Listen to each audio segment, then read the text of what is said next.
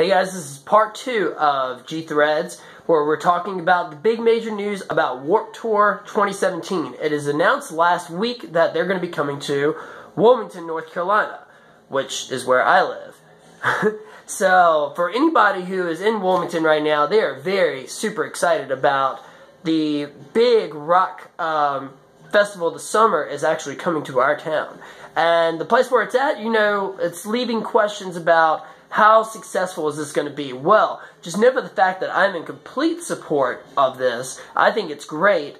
I'm curious about all the stuff, and you know, it might lead into more encouraging uh, GTV like news stories where I might actually like go out and try to like interview some people about this uh, big event that's coming. But it's July 4th, and uh, it's going to be hot, and it's going to be nuts.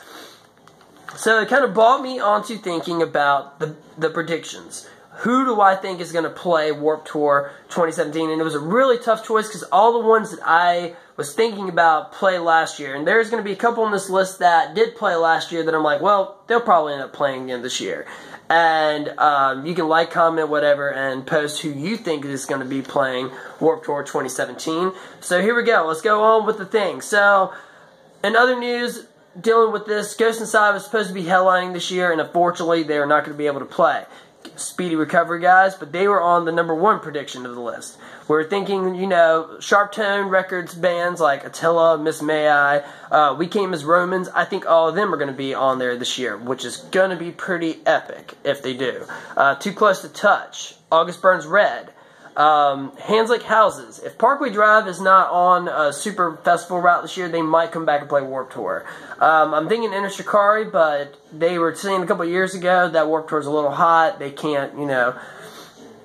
It's a it's a long it's a long tour. Uh, Story of the Year uh, is another big one that I want to play this year, and I've been seeing that they're playing Warped Rewind, which is a cruise ship thing.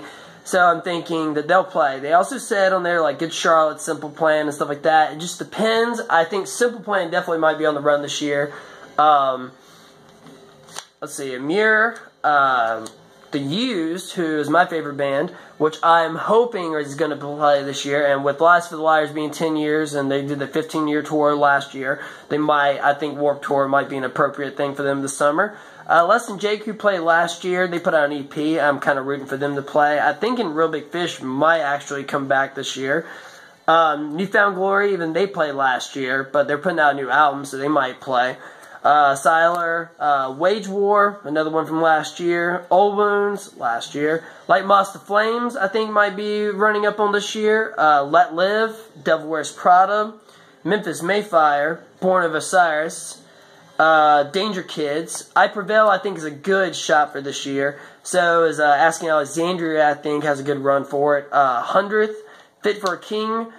Uh, Beartooth, I think it will get a main stage slot, but I saw them and the next one I'm predicting is on an Australian tour uh, this summer. Uh, Me Affliction, Slaves, Dance Gavin Dance is a pretty good run. We'll get some bands like Black Veil Brides, New Year Day, like we'll get uh, a few of those acts uh, Blessthefall, Water Parks, All Time Low. Uh, we'll get some like DJs, you know, stuff like that. Um, I think Senses Fail counterparts have a good shot at going on there. It's it's going to be pretty interesting because a lot of them that people want from last year, like Story So Far, but I don't think they're going to be on it. I think Real Friends, Neck Deep, and Knuckle Puck, I think might you know go about it again. Uh, Mayday Parade.